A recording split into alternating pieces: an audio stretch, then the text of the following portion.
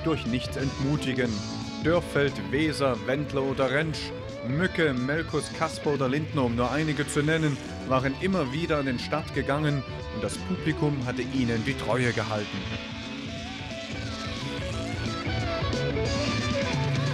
Auch für den Sachsenring begann dann eine aufregende Zeit, die Wende. Das Rennen war am 7. und 8.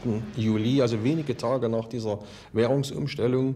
Und das hat natürlich dazu geführt, äh, dass sich viele überlegt haben, ob sie den Eintrittspreis jetzt in West bezahlen oder ob sie lieber erst mal darauf verzichten. Und damit sind nur 60.000 Zuschauer gekommen, obwohl die Rennen hochkarätig waren und international besetzt. So, und natürlich sind auch die Umsätze am Ring selbst dann entsprechend bescheiden gewesen. Wer hat schon zweimal West für eine Cola ausgegeben? Was keiner wissen konnte, es sollten die letzten Rennen auf dem traditionsreichen Kurs werden. Grund dafür waren aber nicht die fehlenden Umsätze, sondern schwere Stürze in der Stadt. Das Glück, wie in diesem Fall, hatten nicht alle. Also es, es war entsetzlich.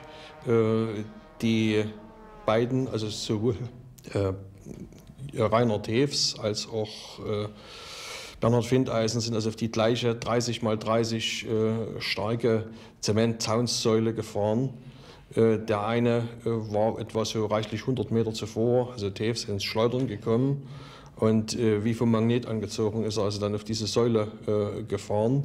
Und Findeisen äh, war auch ins Schleudern gekommen, touchierte die Hauswand und ist dann durch die Hauswand geführt worden. Und die Linie führte genau wieder auf diese Säule. An dieser Stelle, kurz vor dem Badberg, war es passiert. Zu den Augenzeugen gehörte auch ein 13-jähriger Junge aus Hohenstein-Ernsthal. Wir haben einfach da gestanden, dann kam der Krankenwagen, hat die Leute abgeholt am nächsten Tag stand es erst in der Zeitung. Und da war ich davon überzeugt, dass das nicht mehr weitergeht, weil das war direkt vor meinen Augen auch. Und da habe ich gesagt, nee, also das funktioniert so nicht in der Stadt mit den schnellen Motorrädern, das ist irgendwo nicht mehr ganz zeitgemäß. Nach den tödlichen Unfällen war das Urteil im Abschlussbericht klar, nie wieder Rennen auf diesem Kurs. Hier an dieser Stelle endet die Geschichte der alten 8,7 Kilometer langen Rennstrecke. Der Sachsenring war tot. Aber der Sachsenring wäre nicht der Sachsenring, wenn die Geschichte hier schon zu Ende wäre. Die Fans wollten sich mit diesem Schicksal einfach nicht abfinden. Gleich nach der Wende demonstrierten sie hier für den Sachsenring. Dazu gab es wilde Rennen an historischer Stätte und kühne Träume von einem Motodrom. 1992 gab es einen Neubeginn, Initiator der ADAC Sachsen. Und so wurde zum Jubiläum 65 Jahre Sachsenring in Most gefahren, um das Überleben des Rennens zu sichern. Und dann ging es endlich auch auf dem Sachsenring wieder los. Der ADAC Sachsen hatte den Startschuss gegeben für einen Neubau. Mit Unterstützung des Freistaates Sachsen entstand ab 94 an der alten Strecke ein modernes Verkehrssicherheitszentrum. Bis zur Fertigstellung im Jahr darauf erhielt die einstige Kultstätte bei Hohenstein-Ernsthal ein völlig neues Gesicht. Ja, also das war für uns alle in Hohenstein oder für 90 Prozent außer denen, die es angeschoben haben, überraschend. Es sollte ein Verkehrssicherheitszentrum geben, aber das hieß noch lange nicht, dass man da irgendwelche Motorradrennen drauf fahren kann. Dann sind wir einen deutschen Meisterschaftslauf schon mal drauf gefahren. Das war schon mal ganz toll, hier vor der eigenen Haustür einen DM-Lauf fahren zu dürfen. Und im Jahr drauf Weltmeisterschaft, also das ist Wahnsinn gewesen. Die Wiedergeburt der Rennstrecke. Für die Fans hatte die lange Leidenszeit ein Ende. Ab 1998 trafen sich hier wieder die Besten der Welt. Rossi, Biaggi, Roberts, Harada, Waldmann. Nach 26 Jahren Pause wieder WM-Läufer auf dem Sachsenring. Zu verdanken war das vor allem der einmaligen Begeisterung der Fans. Die großen Hoffnungen am Sachsenring ruhen auf einem kleinen Mann aus Hohenstein-Ernsthal. Seit 97 im WM-Geschäft will Steve Jenkner seinem Publikum diesen Wunsch erfüllen, auch wenn es gerade hier alles andere als einfach ist. Es fängt früh an, wenn ich aufstehe und möchte zu Hause schlafen, dann brauche ich für die 5 Minuten Fahrstrecke oder 500 Meter Luftlinie ungefähr eine Dreiviertelstunde, weil ich dreimal angehalten wäre und mit dem Roller kaum durchkomme. Und das ist natürlich alles, was du auf anderen Rennstrecken nicht hast. Du kannst dich früh konzentrieren auf das, was du machen willst. Aber in den fünf Jahren jetzt habe ich eigentlich ganz gut gelernt, damit umzugehen und da, um mich ein bisschen abzuschotten. Bis aufs Treppchen hat er es schon geschafft. Sein großes Ziel, Weltmeister werden. Ja, also irgendwelche Ziele muss man ja haben, wenn man da hinkommt und, und fährt dann dort, dann ist natürlich das oberste Ziel, der Weltmeister zu werden. Das ist schon klar. Das ist jetzt immer noch so. Man merkt dann halt leider mit den Jahren, dass es immer, dass es sehr, sehr schwierig ist und was man alles dazu braucht und wie lange das dauern kann. Aber an dem Ziel hat sich nichts geändert. Was nach einem deutschen Sieg am Sachsenring passiert, ist angesichts dieser Begeisterung kaum vorstellbar. Fest steht nur, es wäre die Krönung einer langen und wechselvollen Geschichte. Äh, wer hätte sich das gedacht, äh, dass wir hier die Weltmeisterschaften, nachdem sie 1972 eigentlich für immer von hier gebannt waren, dass wir den Weltmeisterschaftslauf wieder nach Hohenstein-Ernsthal bekommen. Und das lag ganz einfach an dieser Motorsportbegeisterung, an den Zuschauerzahlen, die an keinem anderen Flecken äh, in Deutschland zustande kamen.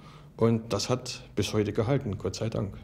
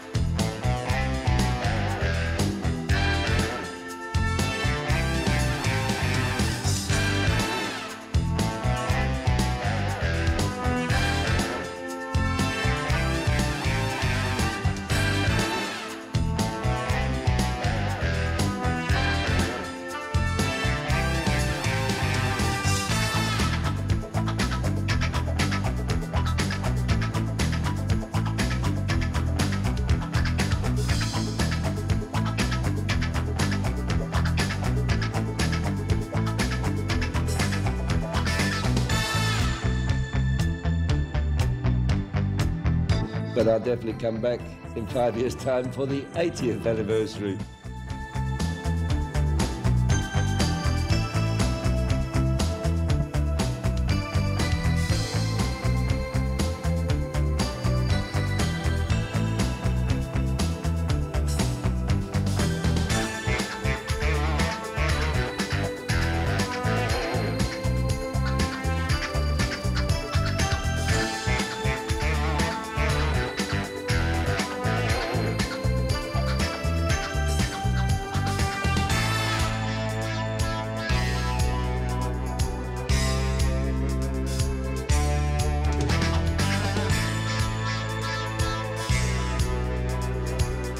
Ho dei bellissimi ricordi perché ho vinto tanto e poi qui effettivamente ho avuto tanto calore dal pubblico che non ho mai avuto in altro posto.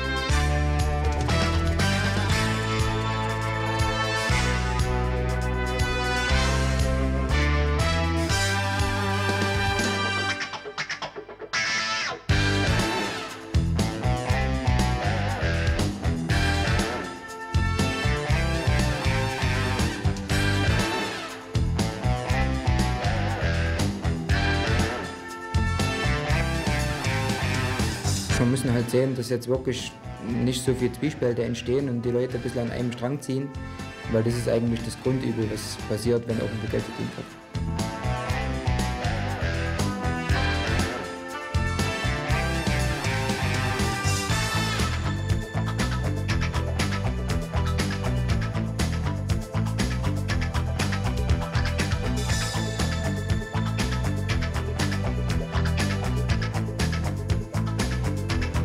Das waren 75 Jahre Renngeschichte. Vieles ist in dieser Zeit passiert. Manches hat sich auch geändert. Aber eins ist geblieben, die Faszination Sachsenring. Und hier sehen wir uns ja auch wieder. Euer Gigo.